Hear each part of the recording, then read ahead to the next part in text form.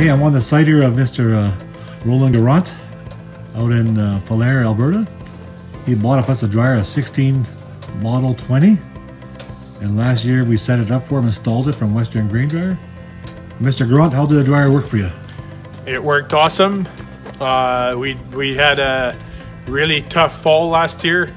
Lots of days of uh, wheat coming in at 20, 21, 22, and and we have three uh, John Deere uh, 690s, and I was keeping up to the three combines, no problem. So yeah, I'm really happy with it, and uh, we did the change uh, just in time because it's been our, as far as I'm concerned, it's been our toughest fall yet. Was last fall.